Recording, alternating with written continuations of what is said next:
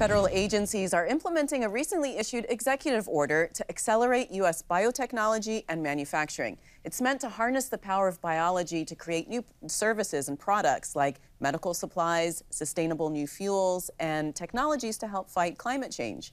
Theresa Good is a division director for the National Science Foundation's Directorate for Biological Sciences. Theresa, welcome. Thank you, Mimi. It's great to be here. We hear a lot about biotechnology and biomanufacturing.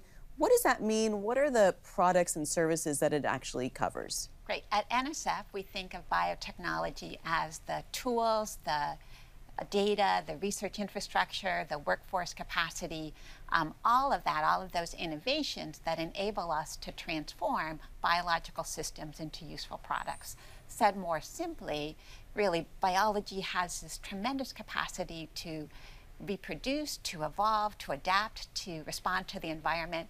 And what we hope we can do with that is harness that power of biotechnology, or biology and in biotechnology to solve problems like mitigating climate change, to feeding the planet sustainably, to creating resilient supply chains, to creating new jobs um, in the bioeconomy that will serve all of society. So why now? Why is it so critical to start investing now?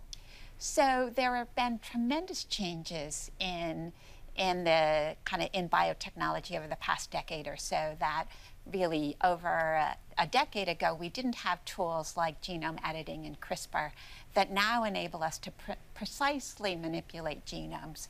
Uh, we couldn't sequence genomes at the rate that we can. We could not uh, synthesize DNA at the rate we can. And now there's tremendous capacity um, uh, in the technology to really advance. Um, but we risk falling behind that uh, other countries have invested a lot.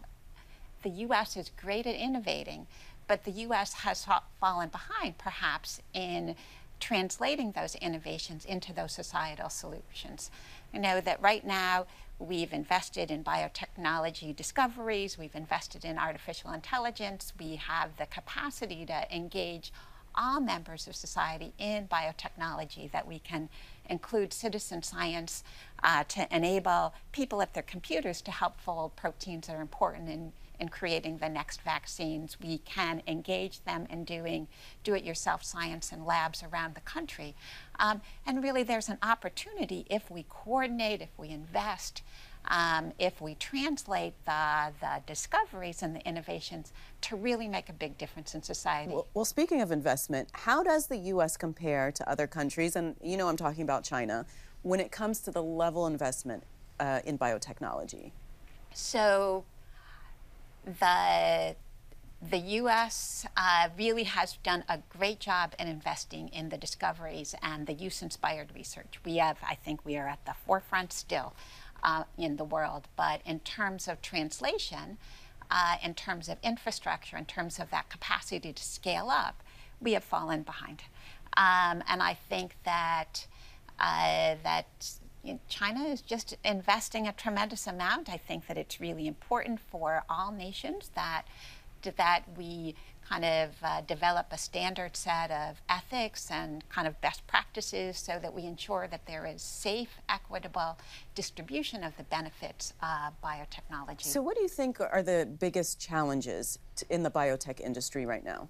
So I think there are a couple. I think that uh, workforce development, I think that not everyone has been able to participate in the bioeconomy. I think that we really need to work hard to ensure that we are inclusive, that we engage the public in co-creation of those innovations that are going to solve problems like feeding the planet, like creating life-saving medicines. So I think that it's really important. I think that there is an issue of trust of science. And so, again, engaging the public including more people in co-creation of that knowledge.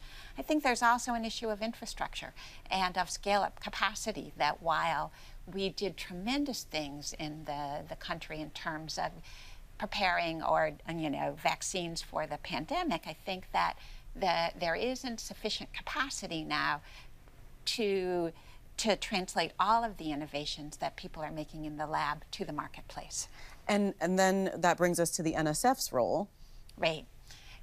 So, um, so we are, you know, NSF's foundations have always been in basic and use-inspired research, that that's kind of our bread and butter, that we're really proud of the investments we made in people like Jennifer Doudna, um, you know, uh, before she, you know, got her Nobel Prize for her work on CRISPR and genome editing, of our investments and other people like Frances Arnold and, and many others that we, and that those investments we make in basic research help lead to those discoveries and innovations that are going to fuel the bioeconomy.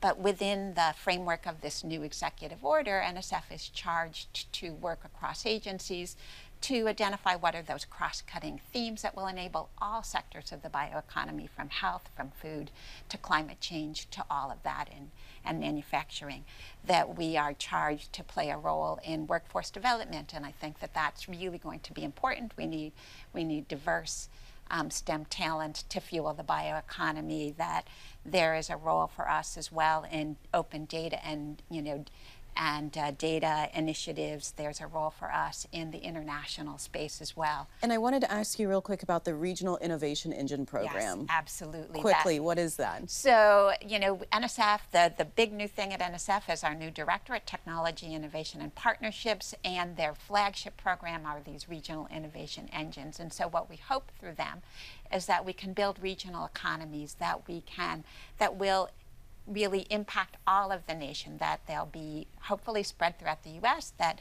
that many of the new kind of the initial applications in that space have come in in the biotechnology space. And so we're really excited about what's the potential of building regional economies through partnerships um, in our investments in these regional innovation engines. All right, Theresa, we're out of time. Thank you so much for being on the program. Thank you. Thanks for watching. If you enjoyed the video, give it a thumbs up and subscribe to our channel so you don't miss out on any future Government Matters interviews.